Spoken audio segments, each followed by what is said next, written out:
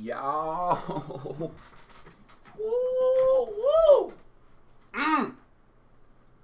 Y'all ain't gonna believe this story right here. And this just goes to show you, as a young black man in America, you can do everything right. You can stay away from the wrong crowd, play sports, graduate from high school, go on to college to be a starting quarterback, and still be falsely accused for possession of cocaine. Let's get right to it.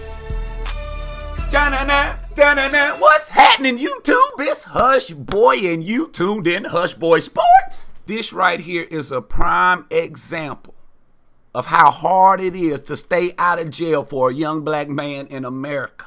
Shai Werts is a Georgia Southern junior starting quarterback, and he's been a star for the Eagles in the past two seasons, rushing for over 1,600 yards and 18 rushing touchdowns, while at the same time passing for over 1,900 yards and 17 touchdowns. He is out there doing his thing.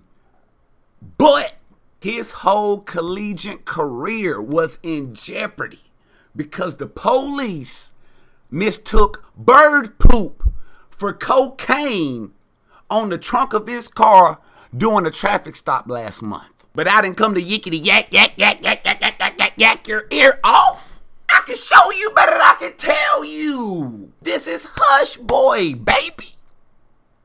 You know I got some receipts. And I'm gonna leave the link in the description box so you can check out these receipts for yourself.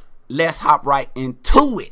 Now, Shai Werts was pulled over on July the 31st after the police said that he was speeding. During the traffic stop, the police placed Werts in the back of the police car while they were doing a search on his vehicle. The cops start paying close attention to the hood of his car, shining the flashlight on the hood, claiming they discovered a foreign white substance. That's when the officer walked back to the patrol car and asked Shai Werts, What is that white stuff on the front of your hood, man?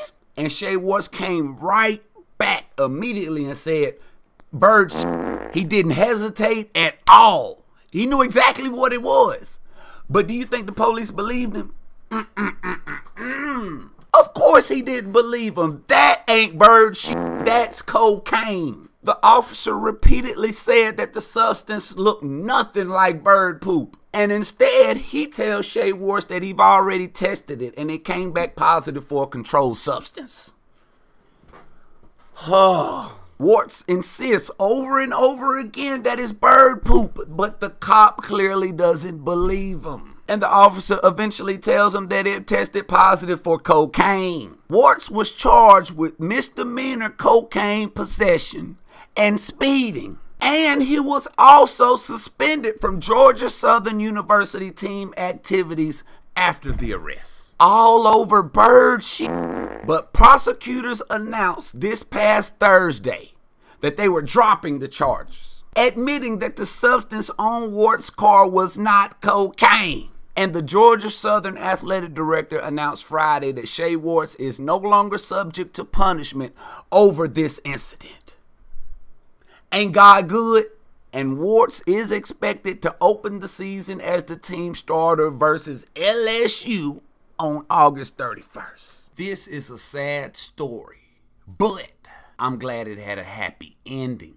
How the hell does bird poop come up positive for cocaine? Was the bird hanging out with Tony Montana? I can only imagine the pain this young man was going through thinking he lost his whole college football career over bird poop. And what kind of field tests do these police officers have in South Carolina? They got to be out of date if bird poop is coming up positive for cocaine. Shai Werts deserves a public apology so his name can be completely cleared. Y'all got the whole world thinking this man is Nino Brown and he got the college campus looking like the Carter. This is exactly why I don't go out.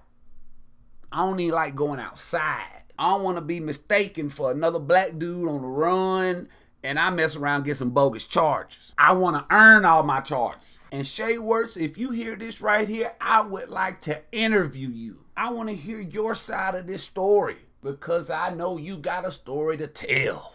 So let it be known. But it doesn't matter what I think about this story. What do you think about this story? Let me know in the comments below. That's the end of this video. Hope you guys liked it because I sure did like making it. If you did like it, make sure you hit the like button for your boy, man. Show me some love. While you ready, you might well go ahead and subscribe to me too, man. Because as you can see, I'm working. Who you can follow me on Instagram.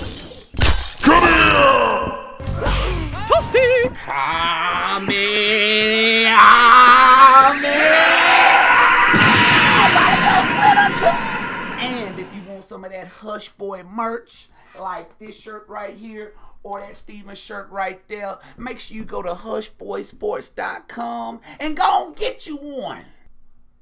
But in the meantime, in between time, y'all be cool like y'all be cool, man. This is Hush Boy, and I'm out this thing, man. Y'all know.